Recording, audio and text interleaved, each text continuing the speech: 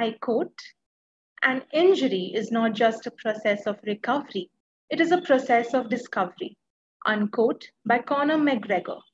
A very good evening to parents, students, and all our well wishers who have joined us for today's webinar on sports injuries, care, and management. In the words of Ernest Holmes, prayer is a thought, a belief or feeling arising within the mind of the one praying. I invite Miss Agnes to lead us in prayer.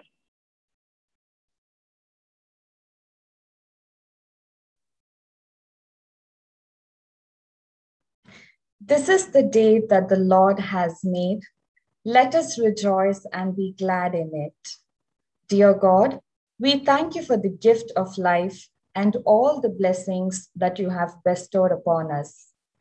This day we come before you in awe of your wonder with thanksgiving and praises in our hearts. We ask you to extend your divine wisdom on our speakers as they share effectively God's given knowledge with all of us.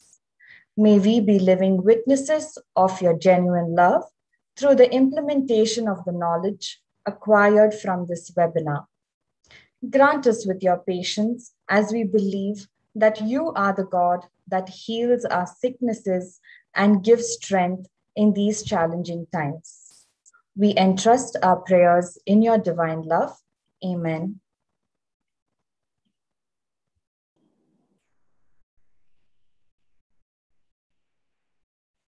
Thank you, Ms. Agnes.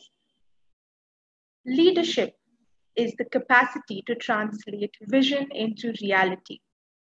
It is lifting a person's vision to high heights, raising a person's performance to a higher standard, and the building of a personality beyond its normal limitations. These very qualities are what define our principal, Reverend Father Sunil Fernandez, SJ. I invite Father to address the gathering. A warm welcome to all who are gathered here today. St. Joseph's is a sporting school, and one has to look no further than the list of our illustrious alumni who once played on the grounds of their alma mater before they became international sporting legends. We hope to resume our regular sports activities as soon as things normalize, and I'm sure Everyone is looking forward to it. In the last year and a half, many people have found it difficult, if not impossible, to resume their usual physical activities. But as normal life opens up, we are back playing our favorite sports. At such a time, paying heed to injuries is most critical. Nobody would like to land up in hospital today and expose themselves when they can instead take care. An ounce of prevention is worth a pound of cure, said Benjamin Franklin. The Dutch philosopher Erasmus is also known for a similar saying Prevention is better than cure. I love the suffering that goes into the sport to become the best, said the American cyclist T.J. Eisenhart. His words ring true with regard to the amount of sacrifice and pain that a sportsperson goes through to reach the top. However, in the process of preparing to excel in one sport, every sportsperson runs the risk of suffering an injury or trauma, and that definitely is something of great concern which must be addressed immediately so as to not cause permanent damage and ruin his or her career. The five S's of sports training are stamina, speed, strength, skill, and spirit. Sporting injuries should definitely not be one of them. This is a very important topic and of crucial importance and interest to all, for the care and management of such injuries is vital. We have some very accomplished doctors who have graciously accepted to be a part of this webinar today. The speakers today, Dr. Rajkumar Amaravati, Head, Division of Arthroscopy and Sports Surgery, and Dr. Padmanaban Sekaran, specialist in movement analysis for injury prevention, will enlighten us about the possible risks as well as the care and management that is needed. I extend a very warm welcome to you, Dr. Rajkumar Amaravati and Dr. Padmanaban Sekaran, and look forward to listening to you. I once again welcome you all to this enriching webinar. Thank you for joining us.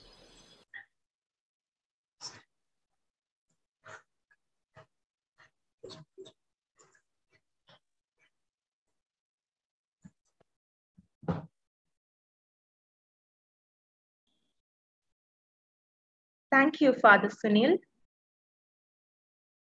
Sporting activity of any kind is an excellent way to enhance fitness and health. Participating in sports not only improves your physical health by improving coordination, balance, and flexibility, but it also boosts endurance and gives you a sense of well being. Sports provides opportunity to experience both the highs and lows of winning and losing. It is a meeting ground for people with similar interests. It encourages setting and achieving of goals through healthy competition. However, given all these advantages, sports related injury is still a good possibility.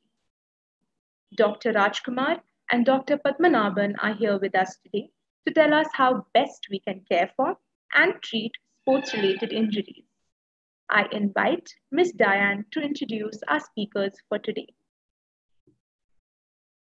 Good evening to one and all. It is a great pleasure to introduce our illustrious speaker, Dr. Rajkumar S. Amaravati, who has completed his MBBS from Karnataka Medical College and went on to do his DNB Ortho from New Delhi.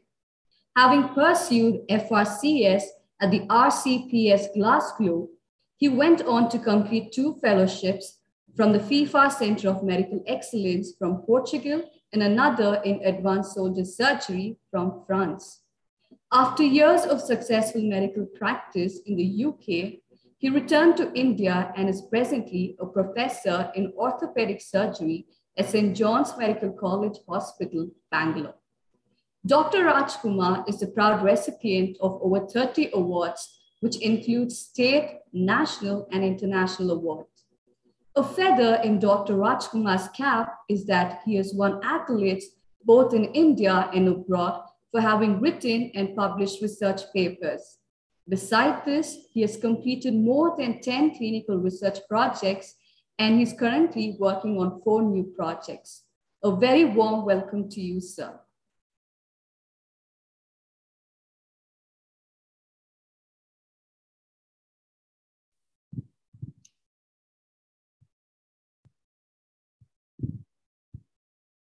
Thank you very much uh, for having me and my colleague Padmanaban to share our uh, thoughts on sports injuries, preventing it, and managing it.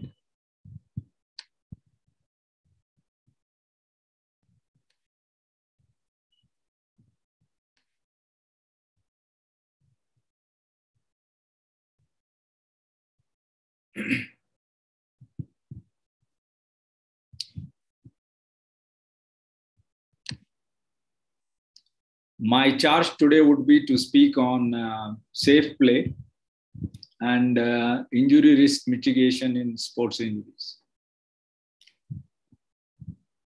The most common injuries that we see are sports specific. Hamstring injuries are more common in uh, runners and soccer and rugby playing, whereas the adductors and the rectus femoris again are common in the rugby players. Tennis players are more common to have gastrocnemius or abdominal muscle injuries. When do they sustain these injuries and is there a bailout? They sustain these injuries when there is eccentric muscle load and also in the transitional phase where there is both eccentric and concentric loading.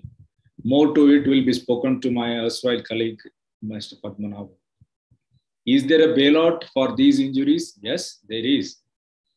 You can improve load tolerance of the muscle, optimize the neuromuscular function by stretching and flexibility, improve strength deficits in the muscle groups, especially in the hamstrings and the quadriceps ratio. You can also work on the intermuscular coordination of muscle groups to avoid such injuries. The new concept that is there in the market is to put the core to work and make it stable. And what is the concept of doing such a core stability? The concept is to provide a stable base so that the leg can, leg can propel you further and increase the output of any function of the upper limb. It also reduces unphysiological movement between the uh, spine, pelvis, as well as the hip. For example, if anybody has to squat, if you just work on the leg strength, the output will be only 7.5%. But if you work on the core as well as the leg muscle strength, the output is nearly doubled. Similarly, if you have a very flabby abdomen or if the spine is hyperlordotic, we are more prone to have hamstring injuries. This core stability also helps us in reducing the injuries.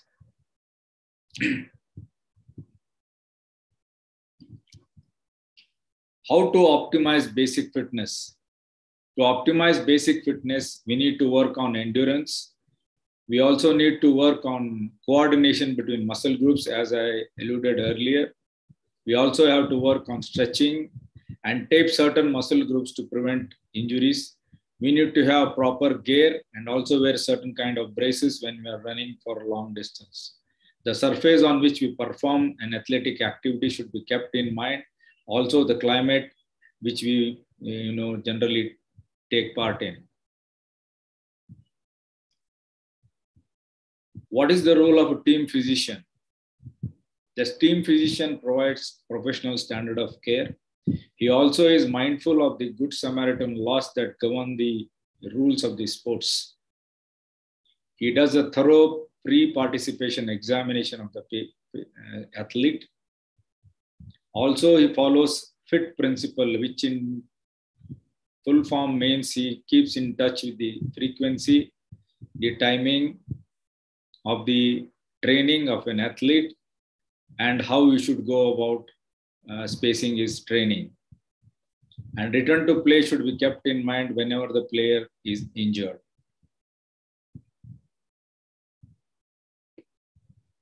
A thorough PPE form should be there handy for all sporting professionals who practice in institutions as well as in sports setting where they handle athletes day in and day out which should enlist basic um, vital signs of the patient like the blood pressure the heart rate the respiratory rate and so on and so forth but most importantly it should record the cardiac activity the respiratory activity and all other extremity functions of the individual. Once all these is thoroughly checked up, then only the team physician can clear an athlete to play a game or to restrict him from playing based on what he finds. We all are very aware of this injury that we saw in Euro 2021. We saw Eriksen, in spite of having a full clearance from the PPE form, he ended up having a cardiac event. So there are untoward events that can happen which are not under our control but nevertheless we need to keep this form handy so that we at all point of time clear the athlete to play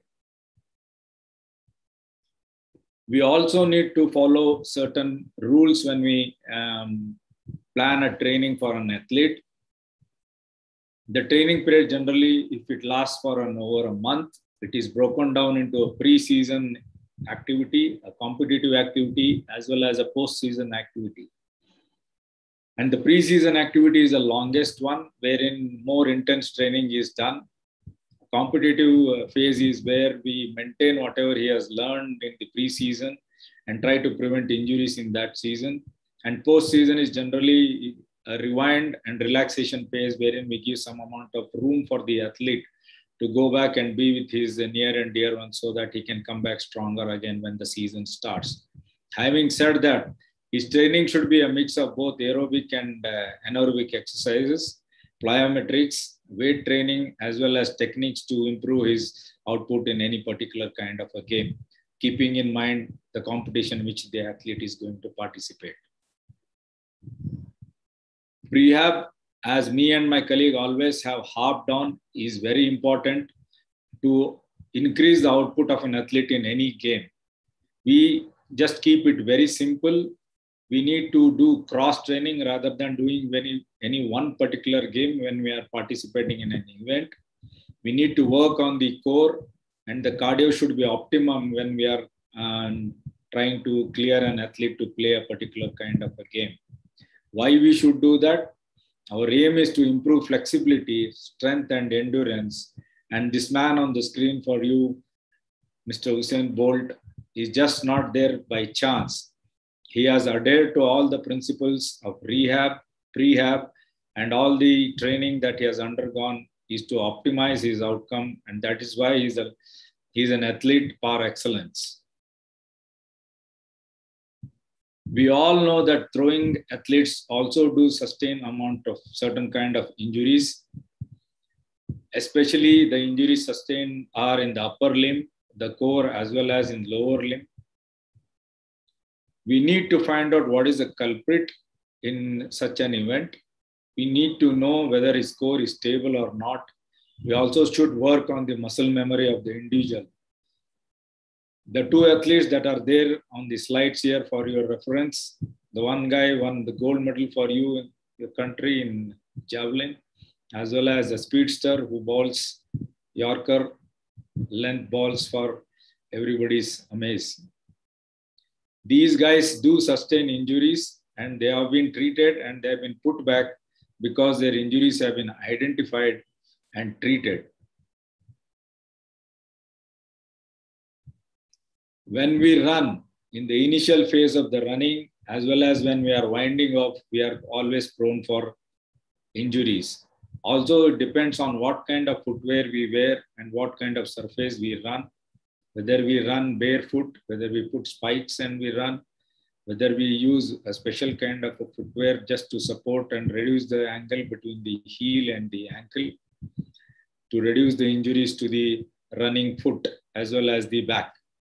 There are some point of uh, running and uh, walking areas wherein there won't be any contact of the feet to the ground. We sometimes call it as a double float or sometimes we call it as double support walking.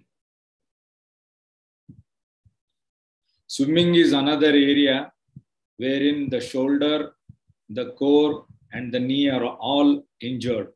If we keep our body in shape, we will be able to prevent these kind of injuries. There are four specific events, the breaststroke, the backstroke, and the butterfly stroke and the freestyle. In all these injuries, all these events, the shoulder injuries do occur, which is generally an impingement.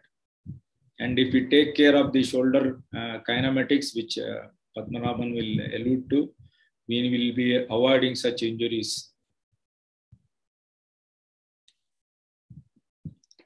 Even when we jump and land, any sport which involves jumping and landing still can prone uh, still can make an athlete to have injuries. That is basically because of the difference in the quadriceps and the hamstring ratio, the difference in the hip rotation and the abduction. And if you follow poor technique, each individual will be prone to have injury. We are aware that Carolina Marin could not participate in the Olympics because of a knee injury, and which was very severe and here we see two high jump athletes, one of them from Italy and another from Qatar, both high level high jumpers. Both shared the gold. One of them, an Italian athlete, has an injury to the ankle. Post injury, he has recovered well to participate. So we need to address such injuries, make them fit, make them play at the highest level. Doping is another area which each athlete should not do. What is doping? If I have to say, it is a substance or a method used to increase performance, which is detrimental to the health and ethics of any game. There are many things available in the market to boost your performance, to improve your output on the field. Steroids are available, diuretics, which are masking agents, stimulants just for the sake of uh, having a better day on field, supplements to boost your um, muscle uh, function, blood products to improve, improve your oxygen carrying capacity, and sometimes growth hormone to stimulate your muscle groups. All these will improve your output or playing in a particular day or a particular game. But once you are caught, the disgrace that you have is beyond repair. So this is a one area where any athlete should not venture into. We have great news for women in sports in our country. They are doing really well. But there are three things that usually bother a woman athlete, and we call it as a triad of an athlete. They are generally prone for inadequate eating or sometimes retching and vomiting. They will usually be prone for menstrual abnormalities and sometimes they will have skeletal demineralization. These all will require a multi-pronged approach, usually involving a nutritionist, usually involving a psychologist, a gynecologist, and also an endocrinologist to supplement the need for calcium to support the demineralization of the bone. Pediatric and adolescent athletes.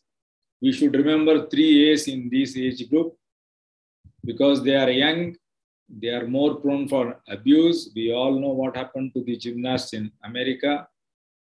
And these injuries are generally seen where the muscle and the tendons are attached to the bone, and we call it as an apophyseal or an epiphyseal injuries.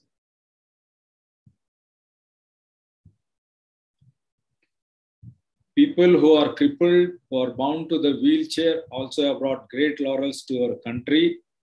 But only thing is, if we provide them much better equipment and in design, they can bring greater laurels. We also should be mindful of the quality of the bone they have because they are more prone from uh, osteoporosis. If they are paralytic, we need to regulate the temperature of the body. Sometimes sitting for long time in one particular position on a wheelchair will throw in some amount of new calcification in the bones and around the joints, restricting their mobility. Pressure sores should be kept in mind. And once we are able to treat them, they will be functioning like you and me to bring great laurels to the country. And here is one of our power lifter, Farman, whom I have operated and me and Padmanaban together have made his life really enterprising. There are some changes in sporting arena of the world. I am going to speak on some few of them that help us to participate in a sport effectively. Mouth guards is a must for any contact sports, which will prevent you from facial-maxillary injury. If you have to look at the ankle sprains, which are very common, what are the criteria that help them to participate at the highest level is if you take care of the pain and the functional stability of the joint, they should be able to participate even if there is some amount of swelling and discomfort in the joint.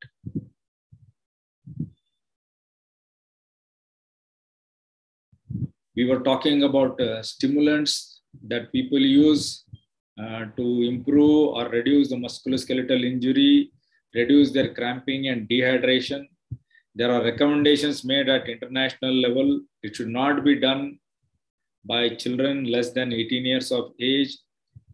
And above 18 years the recommended dose of any supplement for example creatine is 0.3 grams per kg per day. High energy performance athletes should take supplements but it should be supervised.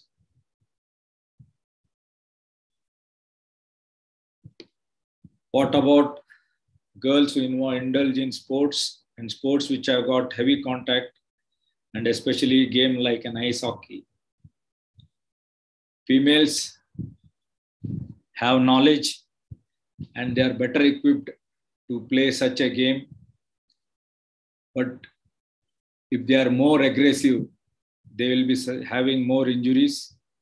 Safe play is the norm to avoid injuries. An experienced player will be better placed to avoid injury than a non experienced player, says this paper.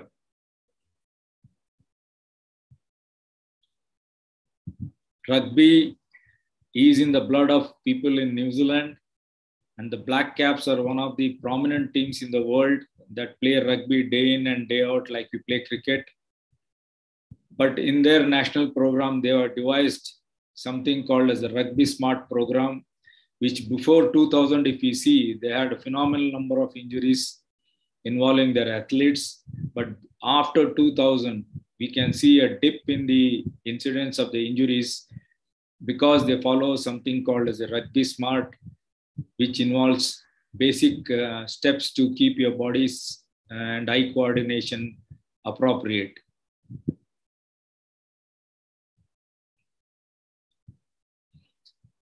How to prevent injuries in young athletes who practice ice hockey.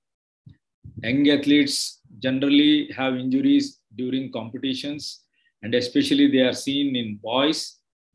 Do we have a bailout in such situation for these young athletes? Yes, we have. Sometimes, because the nature of the game is such, there is a lot of body checking. The age at which body checking is done is advanced from 13 years to 15 years age group. That means body checking is allowed only beyond 15 years and not before 15 years. They work on the core of the patient. They have devised new gears and their proper usage to reduce the amount of injury in such situations. Also, a cramped playing area is increased and the size of the area is to play is increased so as to reduce the amount of injury seen in young individuals. The baseball, which is played day in, day out in US, Japan, and world over, is also is a game that the youths are more fascinated about. But mind you, if they don't practice good technique and they use curveballs uh, regularly, they'll be prone for injuries. They should not pitch more than 80 in a particular match, and their pitching should be restricted only up to eight months to avoid injuries, especially of the upper limb. They can be either a pitcher or a catcher, not both, to reduce the incidence of injuries in the upper limb. If the team physician notices that there is a reduction in the velocity of pitching, he should be uh, taken care of.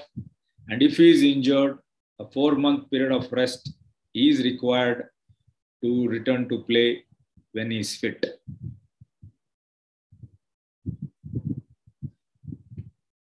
Now, in a youth or in a college, when they are playing games, they are also prone for knee injuries. And knee ligament injuries are the most commonest that we see in our practice here in our institution. In this paper, which says that the medial collateral ligament injury and anterior cruciate ligament injuries were the most commonest ligament injuries that are seen in an athlete who practices American football.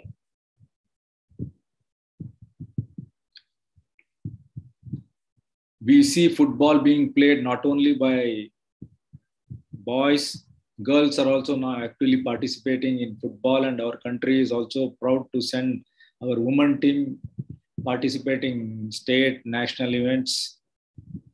And these girls or the ladies are also prone for ankle and foot injuries, especially the defenders. If they are more aggressive, they'll be prone for injuries. It has been found that if they participate more on grass, they are more prone for injuries than when they participate on an artificial turf. And the amount of footwear they wear in the form of cleats will make them more prone for injuries. If we avoid such kind of uh, situations, uh, our female athletes also can avoid having injuries. This is the most important thing that I want to bring across to the parents who are um, wanting their wards to play for the country, the state, and be an athlete of repute. Here are two examples of athletes that I would be sh- I'm sharing with you. One is Aditi Ashok, who participated very eloquently and made our country proud in the first time event, which was held in uh, Japan, the golfing event. And you will see her mother always standing by her side, acting like her caddy and giving her moral support whenever required. Another athlete is Maria Sharapova, who is a well-known, renowned tennis player who played with great success throughout her career when her father was managing her career. The day her father stopped managing her career, she slipped down the line and she was caught when she was using medications which are not supposed to be used to enhance her performance. So I would like to advise the parents watch your wards, be mindful of their injuries, be mindful of the requirements, and bring to the notice of the team physician if there anything that is not right with your ward.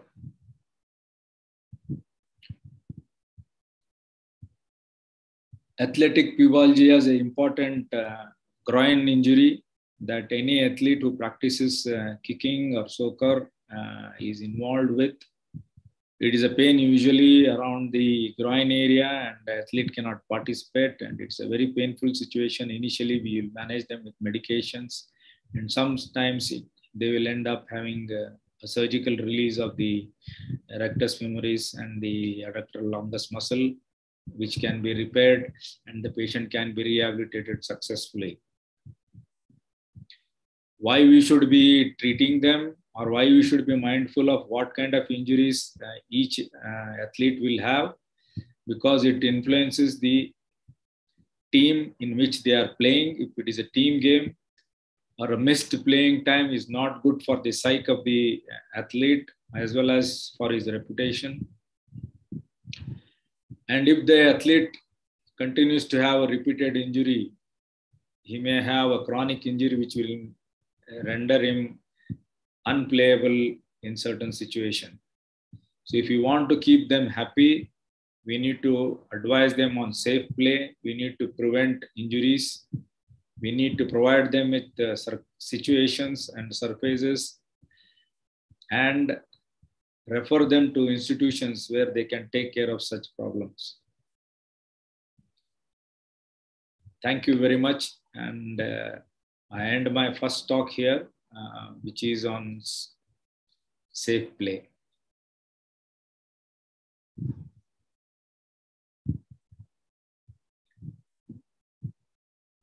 I will now share my second talk, which is on managing uh, knee ligament injuries.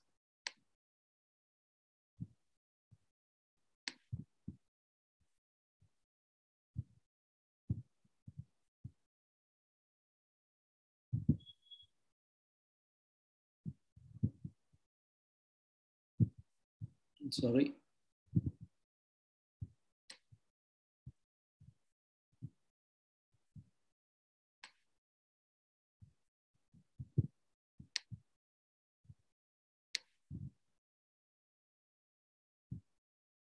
Can you see my new screen?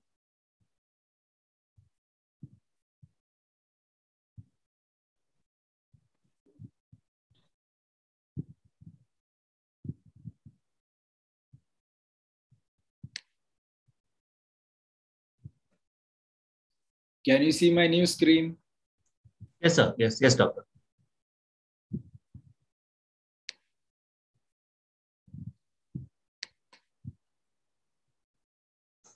No, it is opening the same one. I...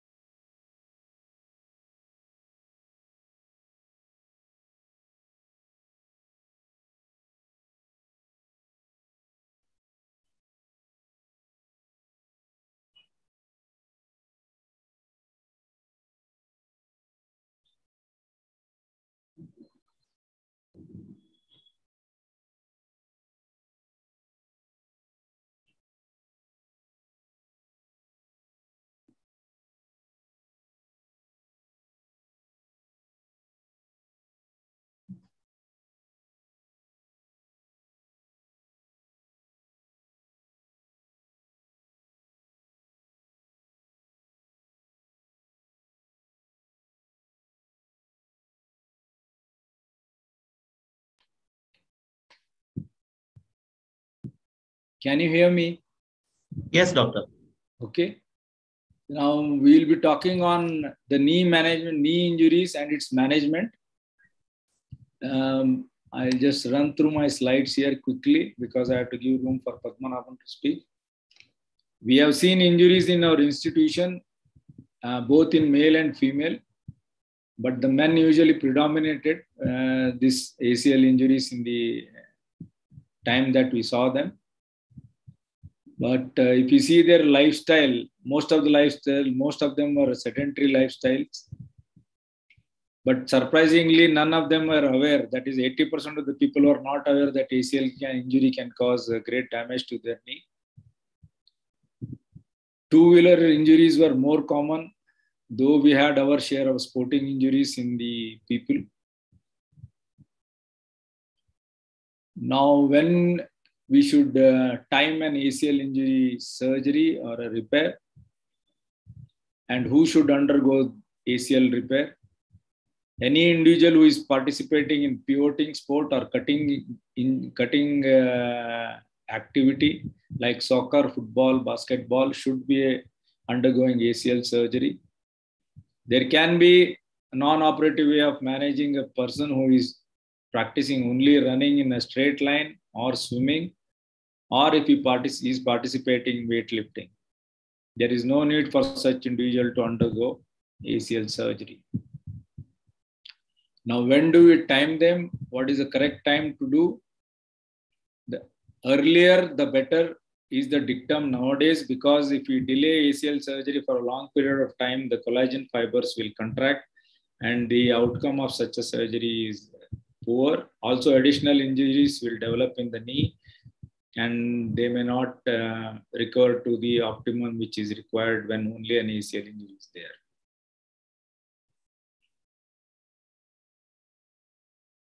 Most of the people who presented to us were late and their outcome was not that great when they present late.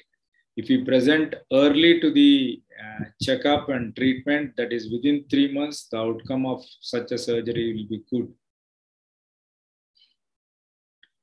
We all plan a prehab for all the individuals who are injured with uh, a knee injury. The reason being, we need to work on the good range of movement of the knee, a good quadriceps function, meaning a complete extension of the knee should be there, which will influence the final outcome of an individual when we operate. Anybody with a contracture or a serious uh, angry knee or a swollen knee should not be subjected to surgery uh, in the early phases.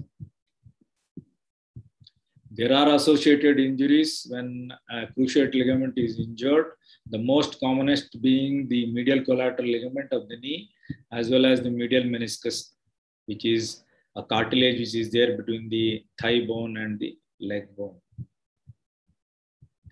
Clinical examination, which is thoroughly done to pick up uh, not only ACL injuries, but additional injuries to optimize the outcome of managing an individual or an athlete with such an injury.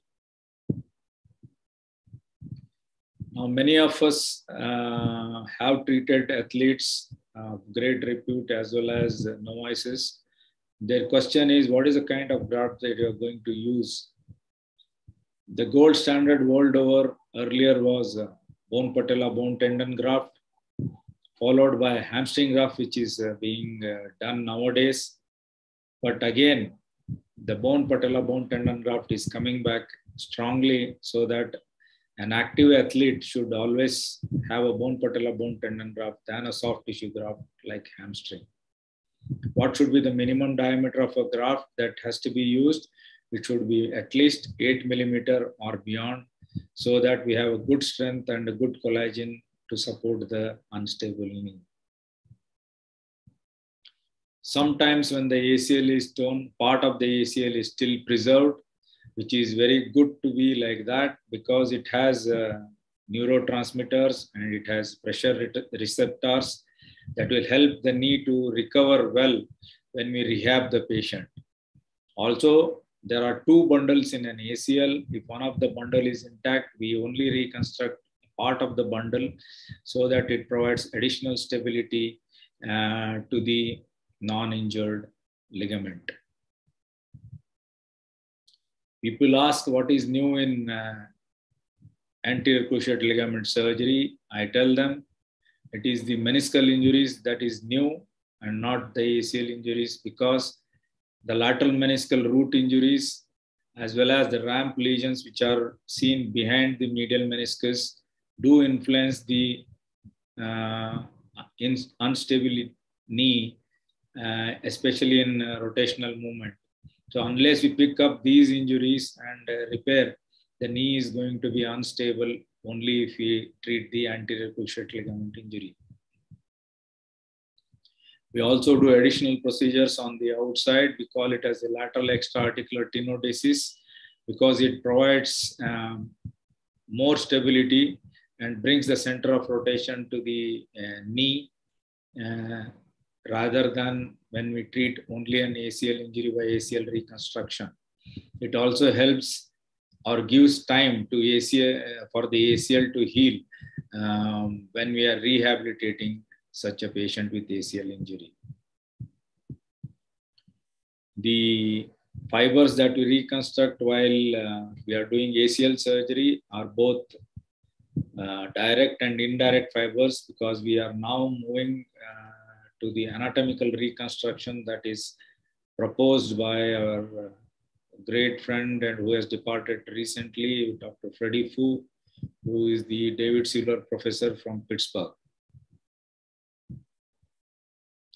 Tibial tunnel has to be appropriate and it has to be dead center so that the uh, non-anatomical placement of a tunnel should not influence the outcome of an ACL surgery.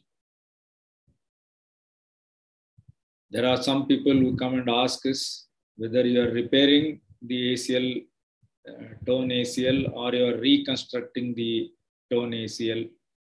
Repair is an option if there is just a peel off of the ligament from the femoral attachment. We can put sutures across the uh, torn ACL and fix it with the help of a screw. This is a new concept which is evolving. Uh, only time will tell that how best this kind of procedure do help in um, bringing the patient back to playing. Fixation methods, however, don't influence uh, much how the ACL surgery is done. But having said that, um, we prefer to use screw on the tibia as well as an adjustable loop on the femoral side. What about an individual who has got a deformity of the knee and he has got an ACL injury? Those kind of individuals also can be managed by a different kind of a procedure wherein the alignment of the limb is corrected by osteotomy and then an ACL reconstruction can be done so as to optimize his uh, playing time. If you understand the histology well and plan new procedures like using PRP or using biofilms across the torn ACL, the biological value of retaining the normal tissue uh, is better than having a reconstructed ACL. If you have to see this new study by Martha Murray and her group, uh, it is fascinating and encouraging in the initial phase of the science, wherein they wrap the uh, torn ACL with um, a biofilm of tissue, which is made out of collagen and which enhances the healing and uh, shortens the period of uh, rehab for such an individual. Research is encouraging, but we have to wait and watch how the outcome will be in long term. What we do for the meniscus nowadays, no meniscus is removed if it is torn. Each and every bit of meniscus, if it is repairable, is repaired. And in areas where the augmentation of healing has to be done, we also do use a fibrin clot to augment the repair of a particular meniscus. Also, augmentation of ACL by the available periosteum that covers the bone is being done in our institution, which is given us great success in biological healing of a torn ACL. Now, how many of them will return when we do such a reconstruction or such a repair of a meniscus?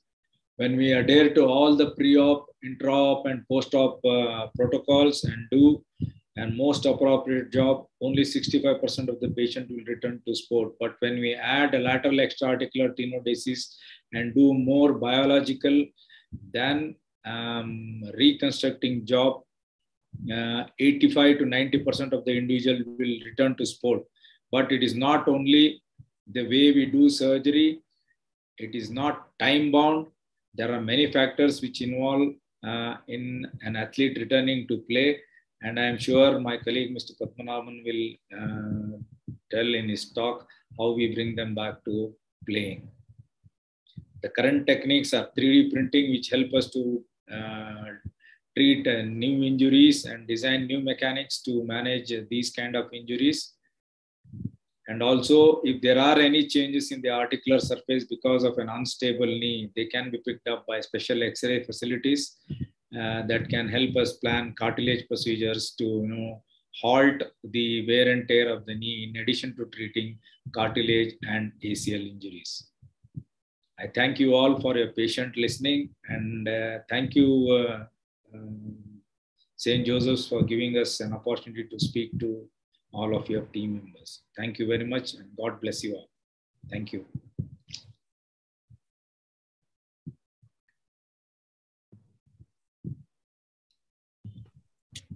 The care and management of sports injuries is a critical aspect. Today, Dr. Rajkumar has enlightened us on this. Thank you, sir. It was truly a beneficial session for all of us.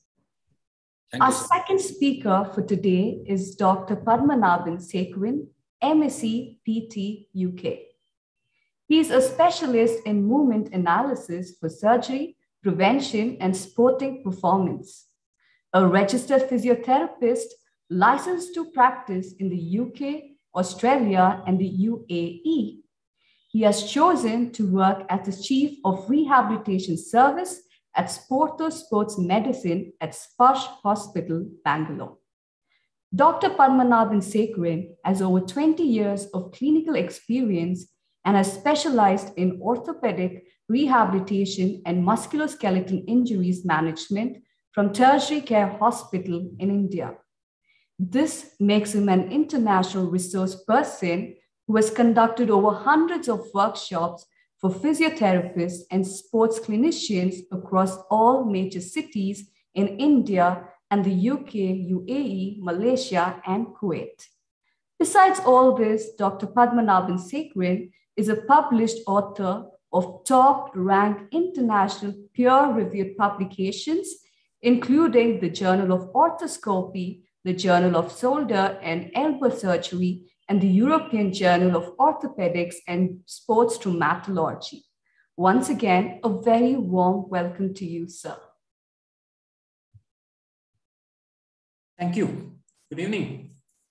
Uh, thanks a lot, St. Joseph's, for having us here on this special program and on our favorite subject, sports injuries. Uh, thank you, Rajkumar sir. It's always a pleasure to work as a team and uh, a very comprehensive coverage of injury management and the favorite subjects which we kind of published together, um, the ACL and shoulder injuries. Thank you. Um, I'll get going. Essentially, I want to talk about uh, sports injuries, the prevention and the return to sport, um, well said as uh, the comeback. Uh, everybody recognizes um, guy on the screen and uh, what we don't realize is I just, when I was looking for this um, presentation, I looked at an old picture of him. Of course, he has got a nice haircut. Old picture of him where he is wearing a tape for his uh, elbow. So he has been carrying this elbow injury for quite some time. And eventually, for him to win an Olympic medal, he has to get it operated and then rehabilitated. And then he got into a competitive performance. And this is the journey. Okay. So I want to take about meaning in a sports such as a javelin, is it possible to prevent an elbow injury? In this case, an ulnar collateral ligament injury. If an unfortunate event that it does happen because of the nature the sport is uh, played, is it possible to get back to a competitive performance? And can surgery help you enhance this performance? So everything is answered with this. case study. Why do we have to prevent injuries? Why are we talking about preventing injuries? Is essentially because everybody wants to play a sport now. Sport is not necessarily a Olympic or a team sport. Everybody wants to participate sport. You can see the number of people who have been doing cycling, a number of people who involved in any kind of um, you know weekend sport, cricket, tennis, squash, based on their accessibility. General population, the participation is increasing. And of course, the performance demands are becoming higher and higher. That's an example. That's Zlatan Ibrahimovic. As you can see that uh, he's there up because he has the ability to kick the football in unconventional ways, not in the ways usually taught as part of coaching. And the performance demands actually he has that kind of an ability. And humans, as a part of evolution, will move in specific ways, in fascinating ways, and they will move better. And that gives them over an edge. Okay. And does that predispose them to kind of injuries? 100% yes. We don't, we are just understanding the science behind how injuries happens specific to somebody who's running, jumping, and cutting. What about somebody trying to kick a football in air? and somebody trying to kick a football without looking at it. So, how do we prevent them? Of course, there is a huge cost for injuries, both in terms of management and the emotional cost uh, involved in it. Okay, that's essentially why we are talking about preventing injuries. But can we prevent injuries? How are, how are generally injuries prevent, prevented? Now, I used to say the best way to prevent a sport injuries is not to play the sport at all. Okay, that but this talk is not about that. We are not talk, going to talk about restricting from participating in sport. Of course, we talk about modifying the sport so that they can participate in a limited manner. Then that, that takes about the performance part of it and avoiding the sport together. Now, this used to be the conventional approach it used to be the common sense approach. This everybody can do, but then as professionals, that's not what here we are here to talk. We are here to talk about the scientific approach by which we can prevent injuries and then put people back without restricting, avoiding, or modifying. How do we do it? How do we do it? Generally, we understand this. When we talk about preventing injuries, we are talking about three aspects. We can prevent injuries at three levels. One is we try and prevent the injuries from happening at all. So what we're calling it as preventing the first episode of injury. If the injury does happen, then how do we prevent it from happening again? For example, 50%, you know, you can just close your eyes and then say that there is a 50% chance that the hamstring is going to get injured in the guy who has already had a first episode hamstring injury. How do we prevent this?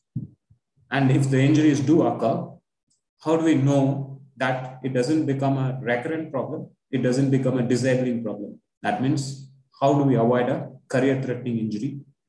How do you avoid an injury which doesn't, you know, stop you from doing normal activity? So how do you prevent a disability? Of course, if you Google, this is this you will find injury prevention interventions these are the most common injury prevention interventions which are listed. Of course, there are a lot of controversies regarding the effectiveness. One thing that the research or the literature doesn't say is each one of these are effective if they are performed scientifically and then they are customized both to the demands of the sport and to the individual. For example, you don't prepare for a swimming by warming up you know, doing a skipping as a warm up. So what are the injury prevention interventions that are available? I'll just quickly recap or read them basically. We know that there has to be an adequate warm up, an effective stretching program, optimal muscle strength and balance, which is usually done as part of the off-season training. Equipment, sir covered it, your mouth guard, use of taping and bracing. You saw Neeraj Chopra using a brace an adequate and correct training, that's the skill part, correct biomechanics, that's the movement part, where you have the ability to move quickly anticipate. We call it neuromuscular control. You also get injured if you don't adequately recover from your training session or your play session. And your nutrition, psychology, and lifestyle and habits, which includes sleep and then staying away from substances. So these are essentially the injury prevention interventions, which are which is which is very common. Everybody knows about them. There are controversies, there are questions, we can answer them. But then they have a role and then they're not going anywhere. Essentially, these interventions fall into the category of preventing first episode. So everybody, everybody looks at the effectiveness of these interventions in the context of can they prevent the first episode and then come to a conclusion, none of them are effective. Okay. Why? Because the best way, as I told you before, the best way to prevent a sporting injury is not to play the sport. That's not that's not complete. The completion of that sentence essentially is not to play the sport to the extent that is required, and then not to play, play, play within the limitations of the human body. But then we want to keep pushing the limits, and that's essence, essence of a competitive sport. That's exactly why these interventions are not very effective.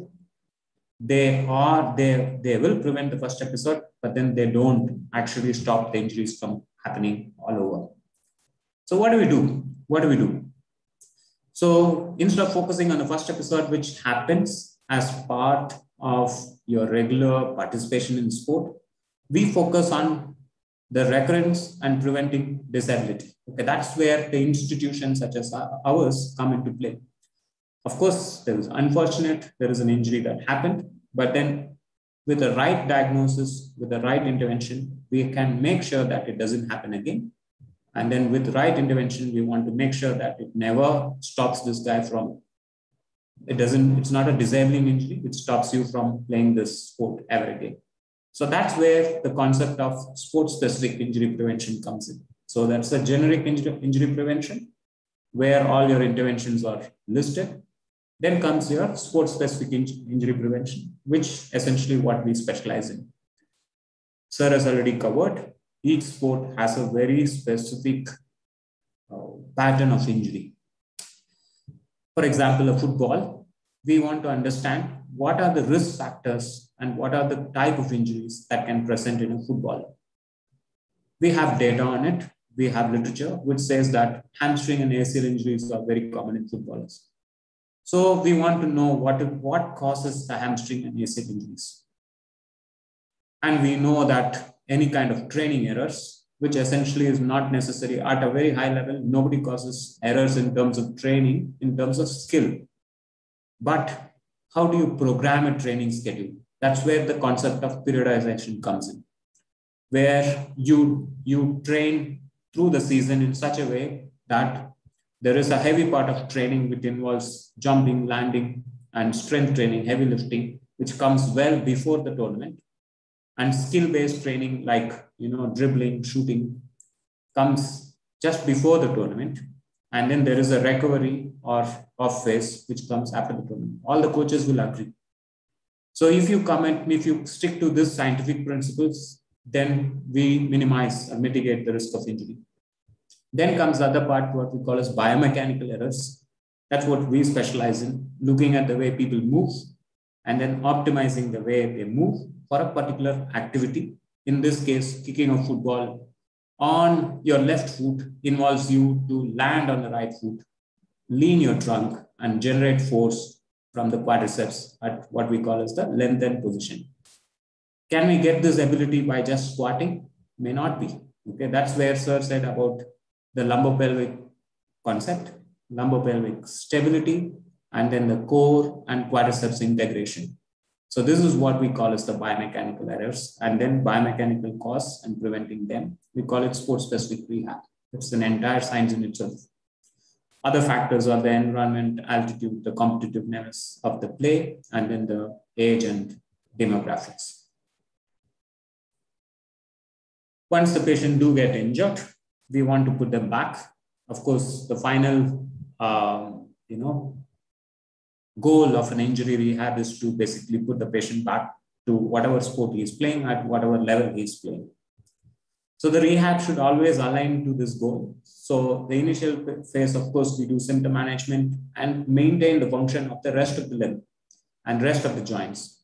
Here, there is no sport. Intermediate level where you restore the function, predominantly focus on single joint mobility and strength, and then allow them to do what you call an isolated sport skill. So the isolated sport skill for an ankle injured can be, you know, dribbling the ball or just receiving the tapping the uh, ball for a shoulder serving or throwing athlete. Advanced when they have adequate strength and stability and neuromuscular control. Then we allow them on sport specific skill, which involves cutting, pivoting, landing, jumping, or throwing based on what sport demands are. And of course, a return to sport is almost and always based on a criteria that's essentially passing specific kind of steps, tests, which are designed to simulate the demands of the sport. This is an entire science in itself. I'll give very few examples of how and each injury is different and then how you customize the rehab. We do what we call as customize the rehab. So customizing the rehab, what does it mean? You have to customize based on the tissue. A muscle, a tendon, a bone or a cartilage injuries, each one behave differently to injury. Each one is managed differently to the injury. And what is the injury status? Does, did the injury happen at one time because of a trauma or it happened because of a biomechanical error where there is repetitive trauma or overuse because this will change the way you manage this injury. And the most important question is, what is the demand of this particular structure based on the sport? Who's the patient? Let us, let us have a look at it. So imagine that hamstring injury in a cricketer.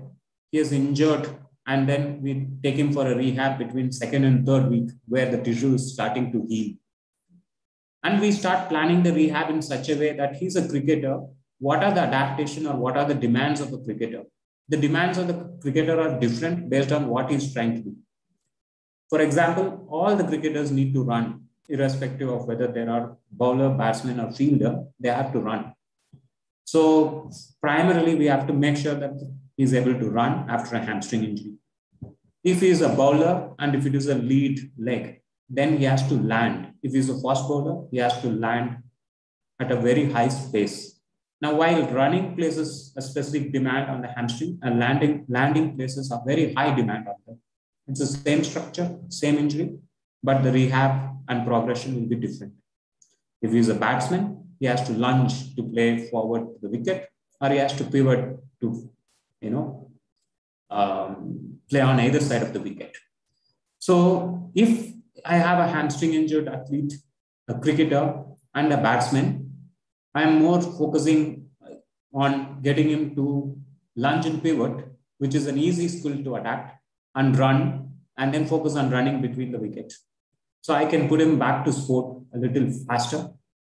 But if he is a fast bowler for the same kind of injury, he has to land. And if it is on the leading leg, then that because of the demands of the sport and demands on the structure, the return to sport will be a little delayed. So this is how we customize. Just a simple example. Every sport has got components based on the demand and it can be customized. And that's the formula for one tissue.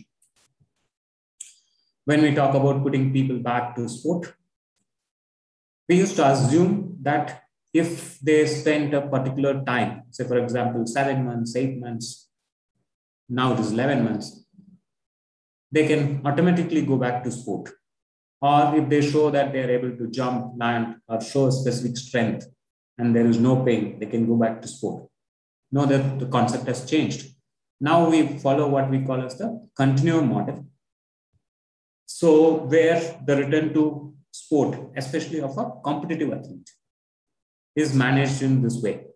So it's managed at three stages where we look at in returning the patient to participation, then the sport, then to performance. Let us see what it means. Sir spoke about ACL injury. How do we plan this? So return to participation is the ability to demonstrate the skills that are required for the sport. For example, if you want to participate in, say, football, then you have to show that you're able to run and you're able to run fast and then you are able to run for throughout the game. So that is that only entitles you to participate in the sport. Then return to sport is essentially you are able to do the skills such as dribbling, cutting, pivoting, and running to the extent that is required for you to get into the team. That means you have to pass certain fitness assessment, maybe the yo-yo test, the beep test, the shuttle runs, so that you can get into the team.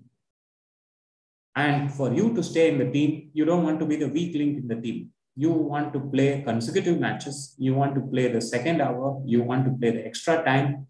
And you want to give the assist. You want to be, you don't want to be the weak link and you want to score the winning goal. And that's when you can get back.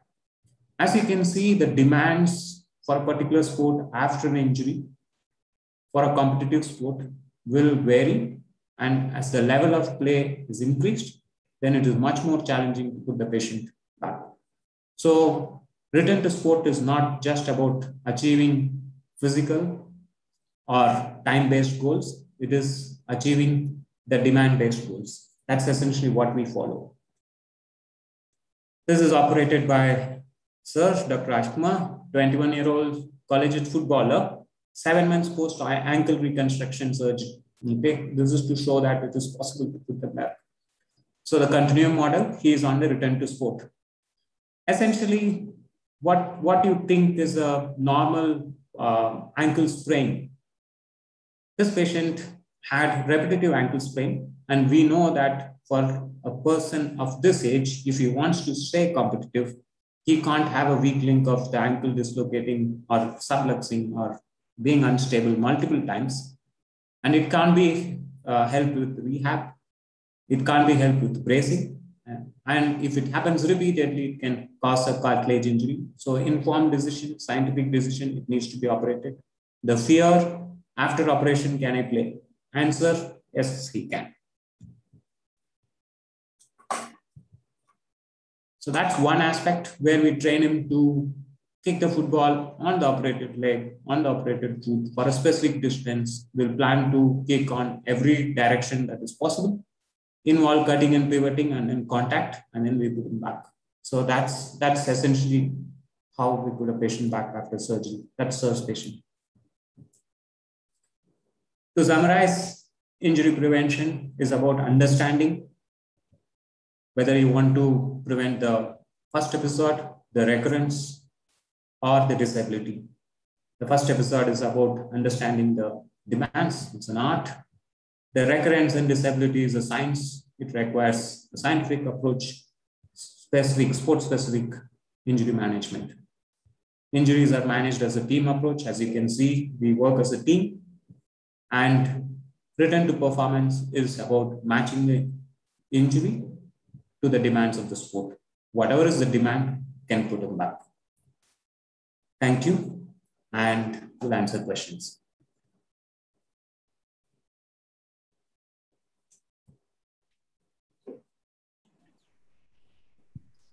Thank you, Dr. Rajkumar and Dr. Padmanaban, for that informative and interesting session.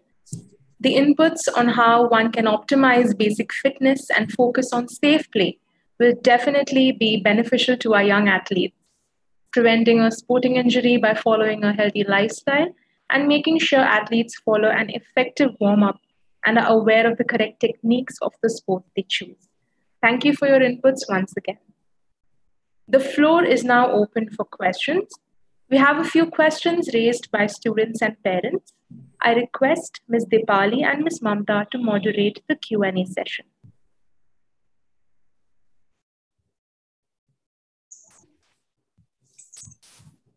A very good evening to all our viewers.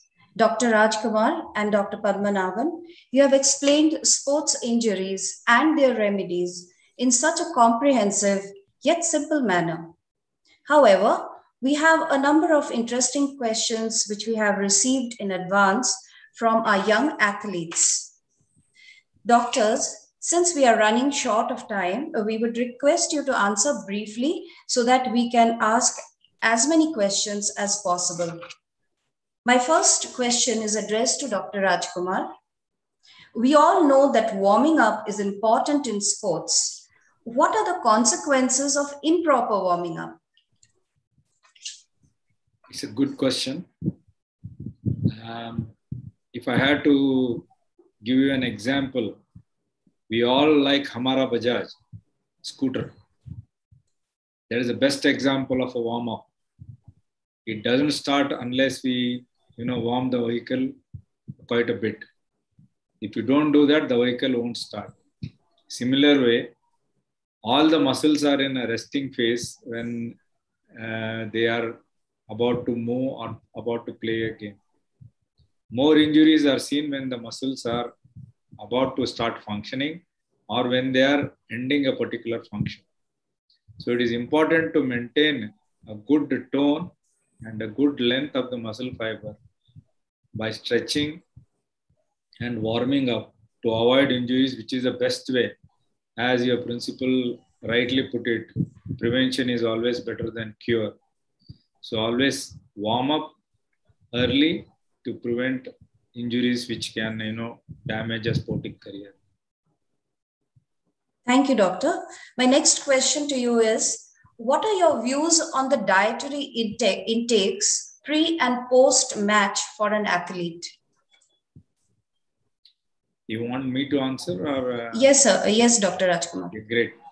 Um, a balanced and a healthy diet should be maintained by any athlete. Having said that, professional help nowadays are available in this area also and they need to you know find time to sit and discuss with them what is good for a particular individual and for a particular game not all supplements are good for a particular individual or a particular age group. They need to seek proper nutritional advice in having the right kind of a balanced diet to optimize their uh, sporting activity, be it a cricketer, as uh, Padmanaban said, or be it a football player. All of them will require different kind of a diet, or if it is an endurance runner, they all require different kind of diet to maintain a lean body mass. So in such a situation, they need a specialist to help them to choose what is the best uh, diet to play a particular sport. Not all it, it is not that it's uh, it's not like you know one kind of fix for uh, every uh, problem. there are different uh, pieces that have to be put together when a diet is being prescribed for an athlete who practices different sport. Thank you, Dr. Rajkumar, for those precious inputs. I uh, over to Mamta, Miss Mamta. She is going to address her questions to Dr. Padmanaban. Thank you, Ms. Dipali. A very good evening to all the viewers. Dr. Padmanaban, my first question for you is, how important is managing one's weight related to issues of knee and ankle pain or injuries?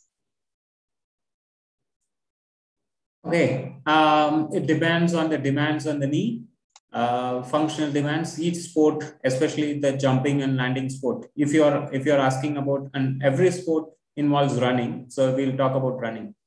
So running places, uh, for example, running places um, scientifically eight times your body weight for every single step that you take uh, there is eight times your body weight force on the front of the knee. So obviously, if you take one kilo off, you're taking eight kilos off from the knee for every single step you take. Now, if you are optimal weight, then you can uh, improve your running performance. If you're non-optimal weight, then the running performance will be limited by the load that you can place. And any structure, irrespective of um, how much weight, how much stronger you, uh, you are, there is a threshold. And the threshold is it can take eight times your body weight. So if you take one kilo off, then you are taking eight, eight kilos. So if you are at optimal level, it is good. If you are overweight, then it is recommended that you take the weight off. This is for running. Thank you, doctor. My next question for you is, does biomechanics help an athlete in enhancing his performance and reducing the risk of injuries? Yeah, that's my specialty area. Yes, okay. sir. Uh, so, uh, of course, yes, um, biomechanics is the way uh, humans optimize movement for a required, um, you know, demand on their body. Biomechanics involves you not just controlling your movement, it's also controlling the movement and achieving a target. It may be placing the ball in the right place, placing your body in relation to the ball. For example, if you want to jump and do a heading and then direct it to a specific direction. So if you are not able to do these because of uh, problems related to the control of your body, the control may be the joint movements, which can necessarily be how your shoulder is placed in relation to your elbow, or how you're placing your entire body in relation to the sport, meaning in relation to the object that is coming at you, okay, your ball, and how you are going to land when you're jumped in air in relation to the surface. So if you have general awareness and ability to control your body parts in relation to the movement demands, in relation to the space demands, in relation to the sport. And then if you are able to do that quickly and better than everyone, then you're going to be injury free. And of course, that will translate into better performance. So biomechanics is the core of injury prevention and human movement. Yes. Doctor, my last question for you is, in spite of sufficient rest, warm-up exercises, stretching, drinking adequate water, and taking proper medication, problems of hamstrings still aggravates while playing football. Yeah, okay. Um, yes, as we said, the, now the science understands that your hydration and stretching is not adequate for the demands. This is what we call again and again about the, it's not about the tissue, it's not about the per person, the demands on the hamstrings are different. Sir, open the slide first with eccentric overload of the muscle. So hamstring, when we do common exercises and when we do normal functions, hamstring works in a certain way. It's called as concentric action of the hamstring. But in a football, it does what we call eccentric lengthening. That means it has to lengthen, but it has to also produce force. And it has to produce quickly when you have to either kick a ball or you have to stop to cut and change direction. Okay.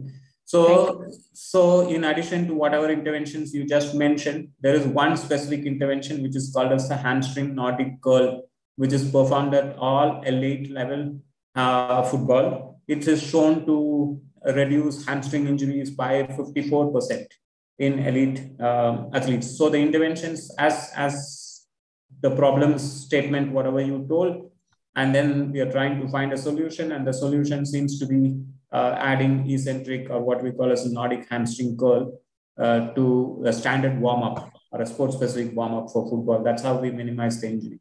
So, so it's because of the demands. Thank you, doctor. Thank you so much. With this, we come to the end of our question answer session. Thank you, Dr. Rajkumar and Dr. Padmanaban. This indeed has been a very valuable and informative session. I'm sure that all the viewers will be benefited by the wisdom imparted by our eminent speakers. Thank you, sirs.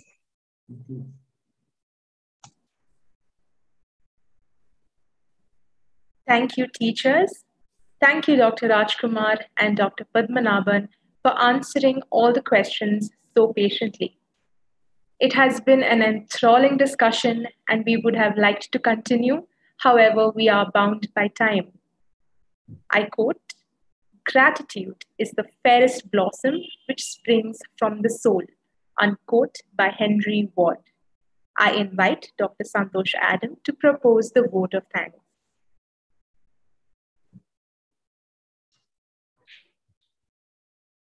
Gratitude is not only the greatest of virtues, but the parent of all. It gives me immense pleasure to deliver the vote of thanks today.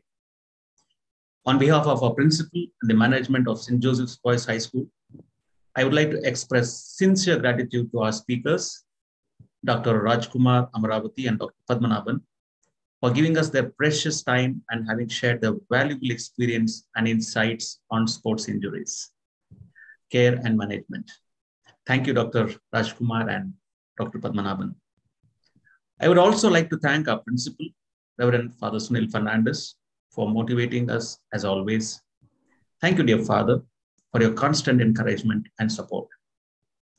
A special word of gratitude to our primary administrator, Father Vishal D'Souza, our vice principal, Mr. Uday Kumar, who have always supported us in every venture. Grateful thanks to all the teachers and our technical team who have worked to ensure the success of this program. To be specific, Mr. Roshan, Mr. Miraju, Mr. Rajesh. I would like to express my gratitude and appreciation to all the parents, students, well-wishers, and participants for having joined us today through this online platform. We thank you for your unfailing support and hope that you have stood to gain from this program. In the words of Michael Jordan, never say never, because limits, like fears, are often just an illusion. Thank you.